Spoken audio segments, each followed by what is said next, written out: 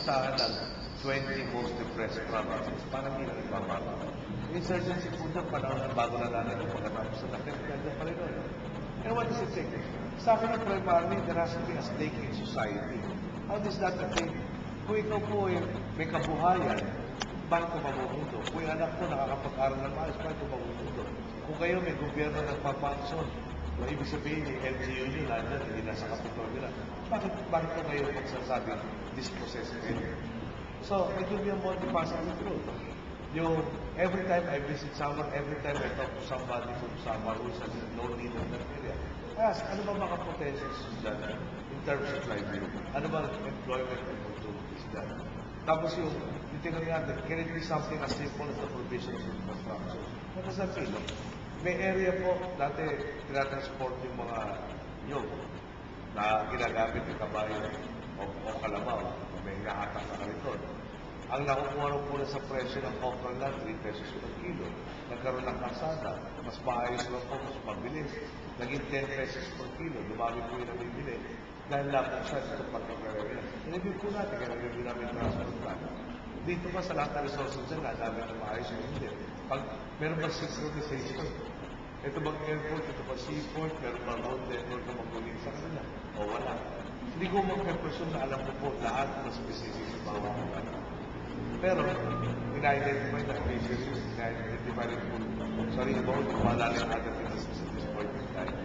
But be innovative things. But I think solving the insurgency goes back to meron pa tayong oportunidad na umangat sa ating estado sa kabuhayan at marami pong pwedeng gawa sa atin. From education, training, yung infrastructure support, and, and so on and so forth.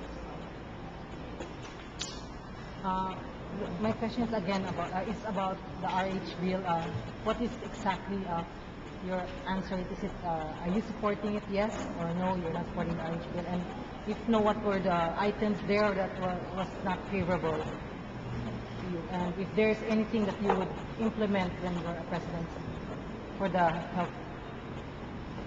Alam mo, yung that topic is being flagged by my opponents. But the bottom line is the RH bill is obviously a dead bill at this point in time. It's not a Is a dead bill. Wala na possession until we go back may yes.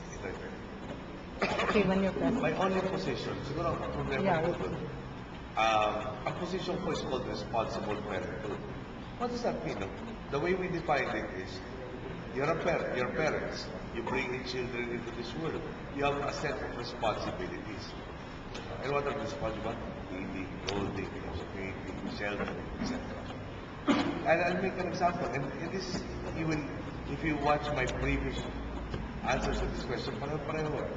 I have a security man in my team who tells me, Sir, bago pala magpaaral sa college. To illustrate what, what the issue is. Sabi ko yan, and my answer was, labing-pitong taon. Labing-pitong taon pwede mo pinag-isipan yan. Bakit kayo mo lang naisip two days or three days bago kayo? So, pinagtatanong ano dito, meron bang pinagtatanong? Meron bang estudyante, babalik lang, grade 1, hindi na natin ma-accommodate, no? 20,000 to 40,000 classrooms. So, minumukhay ko lang, obligasyon ng Estado, paalala sa magulang. Gano'ng karami anak, bahala kayo. Paano niyo pa plano ng pamilya niyo, bahala kayo. Pero yung Estado, hindi pwedeng magbulag-bulagan na meron na nga po tayong kabataan na hindi po natin naasikaso. Ilang, ilang ako po kayo namin. Katoliko po ako. May tinuturo po yung simbahan ko. Pwede ko masabihin, sundan ako ng kapatid natin Muslim o katutubo, Buddhist yun. Pag naging presidente po ako, dapat presidente ako ng lahat ng Pilipino. Doon sa education seminars na gagawin po namin, yayayain namin yung bawat simbahan. Malamang in practical terms, kung sino po nagdodominate ng simbahan sa particular area, will be allowed no, to join that education forum to develop the values and the, the conscience of those that we are educating. Now, what are the measures in the RH bill that I wanted to, to specifically tackle? May budget ko kasi for artificial means. Sorry. Unfortunately, and there's a truism also that if you have a budget, you don't use it. Government, you have a budget, you don't use it, you lose it. So gusto ko may provision na pag ito, niloko mo yung pasyente na pinapunta mo sa isang direksyon, gamitin niya ito, lalabag sa kalooban niya, sa konsensya niya, dapat meron ka meron kasalanan niya, meron kang penal sanction. May fines, may kulungan, etc. Pag yung hindi na kami nakaabot po kasi doon. Pero dahil hindi na naka- nakaabot information. Ngayon, bakit po ba tinututok parati sa akin yung RH? Sinabi ko kasi author ako. Tin- tinanong ko nga, sabi ko paano ako author? Kung magtatanong pa ako dito sa committee report. Pero sinek ko ng aming sekretary sa Senado at ang kinalabas nito, after nag, nag, nag, tumingin po sila, lumalabas ako. Sila po naman po yun. Number one, wala akong final na bill. Sponsoring campaigns. Any bill, nagkaroon na committee report. Number two, they checked the lead committee's report and they found out that I didn't sign the committee report. The third is, they assumed, this is secondary committee kami, they assumed that I had been co-author.